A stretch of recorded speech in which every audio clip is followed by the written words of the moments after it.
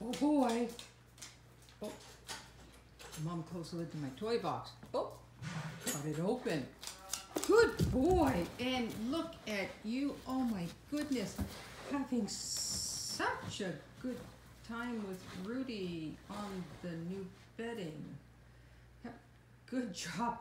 That's the uh, supposed to be keeping the dogs off the bed bedding. It does look nice though, doesn't it? And you just think it's lovely. And you and Rudy are having an awesome time. Look at you go.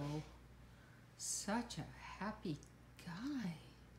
Uh, Mike, did I mention that you're not supposed to be on the bed? But you look so cute. We'll just let you be on the bed. Happy Mikey. Happy, happy guy. You, would you think maybe you want to get off? Come on, let's try it. Give it a try. Oh, we're gonna play tug of war on the bed. Oh, this may not end well because you may fall off the bed, but you probably won't. So, anyways, here's the beautiful new non Great Dane bed. Mikey, Mikey, Mikey. You're a funny guy.